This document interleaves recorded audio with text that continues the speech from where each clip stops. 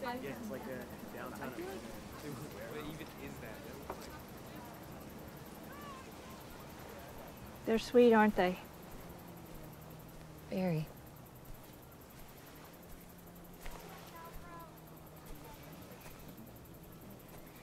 They're a very beloved part of this community.